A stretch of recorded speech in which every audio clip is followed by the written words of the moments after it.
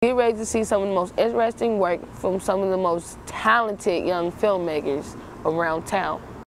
You're watching Zoom In. You're watching Zoom In. Zoom In. Zoom In.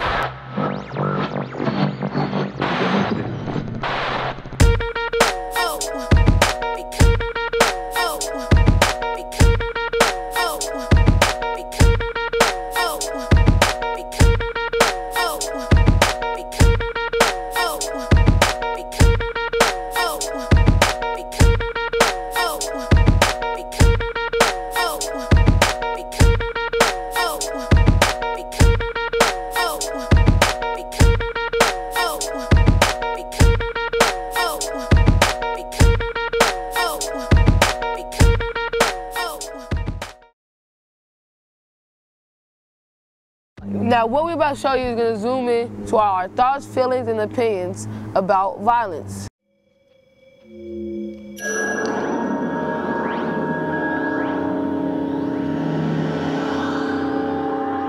This is a story about violence in our world and the way it affects us.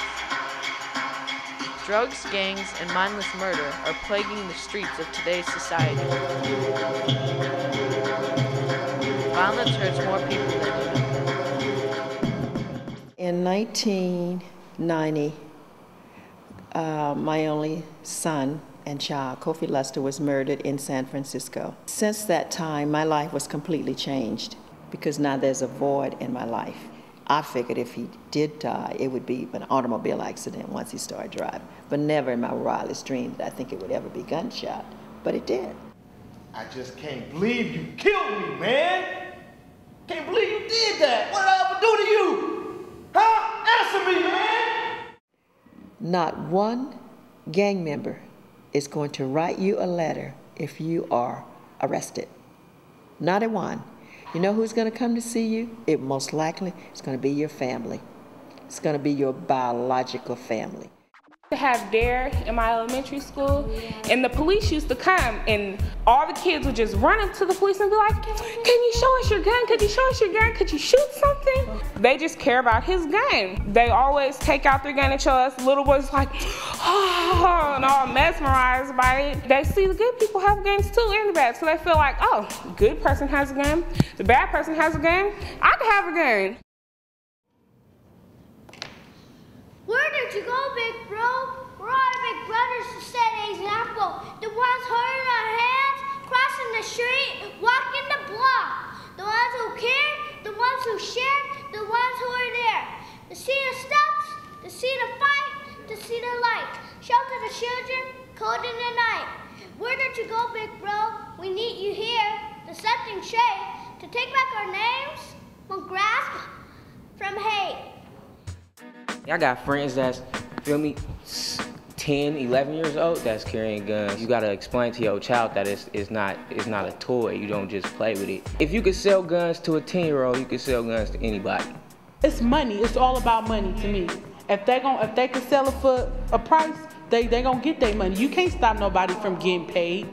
He's a profiteer, he's making money, got everybody acting like a dummy. I get 17 cents for every bullet.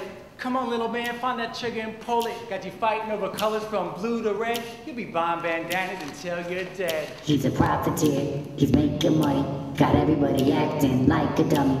Crack, heroin, ecstasy, from the sale to the overdose, I'm stacking cheese. How many addicts are born each day? I couldn't have done it without the CIA. He's a profiteer, he's making money, got everybody acting like a dummy. Got a three day notice and you're feeling frustration? Repeat after me. Gentrification, that toxic air and land you breathe will be a thing of the past once you leave. He's a profiteer, he's making money, got everybody acting like a dummy.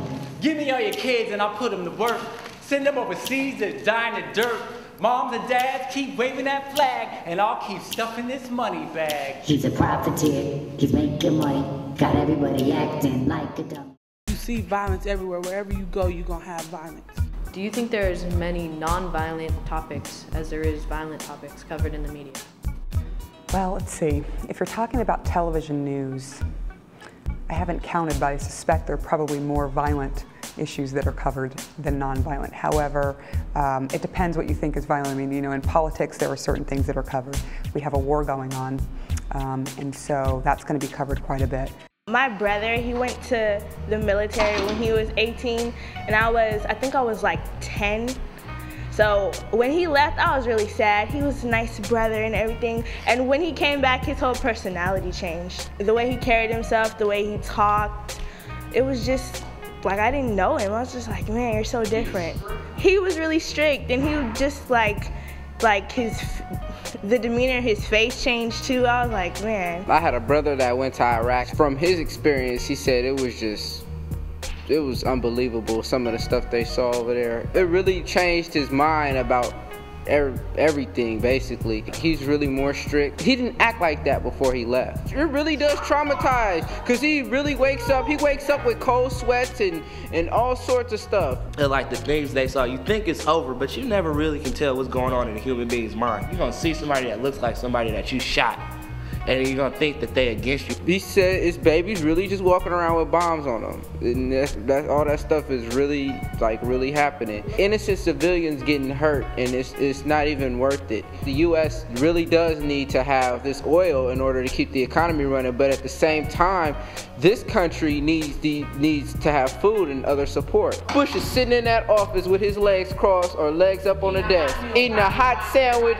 and not caring. Go shoot up somebody because oh, the president say, oh, you gotta go cap him. What they call it, patriotism. And it's a war I didn't even start. You feel me? Right now in the mail, I have at least seven letters from the Army telling me to join. I have two from the Navy, three from the Army, and I have like four from the Air Force. I was by my school one time, and then a Navy recruiter came up to me and just was like, you should be in the Navy, it's really nice and all that.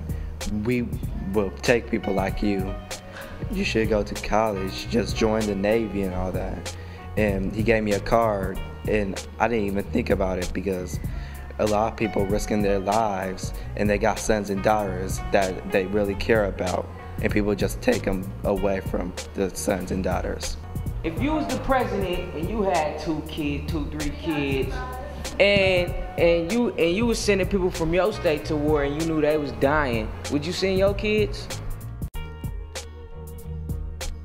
They don't want kids to play with guns and everything, but they're recruiting 18 year old boys to go to war and have a gun to shoot people. If you don't want violence, we shouldn't have violence. We should just bring our soldiers home if they don't want violence. We shouldn't have um, military people going around showing them how to use guns or encouraging them to come and join the military. That's violence too.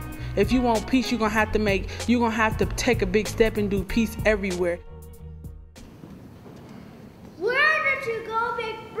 It's been a long time, yo. We miss ya. Come back so I can help these kids grow. Get away from the war, the battles here on the street. Give us what we've been missing, your love. When I first came here, we were covering a lot of crime in the Bayview, a lot. Uh, there was a lot going on. Um, and when I first came into the community, I met a couple of different people um, who do uh, have community workshops and, and different things to help people. And I think it's going to change. I think it's going. I think the community members um, have really put a lot of work and time and you know sweat and tears into trying to make it so that the, the area isn't so crime ridden. But it's going to take young folks like you to make a difference.